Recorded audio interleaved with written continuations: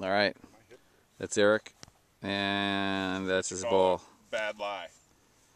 Well, the bad lie was created by a bad shot. Yes, it was. See what he can do here. Can't even see it. I got this thing in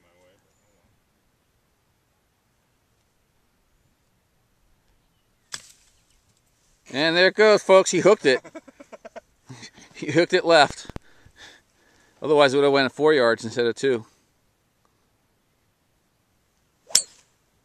And he stripes it down the fairway, right side. Right. Oh, right into the shit. There he goes, tossing his clubs like a little baby. Okay. He's getting his ass whooped today. I don't even like this game anymore. I want to go home.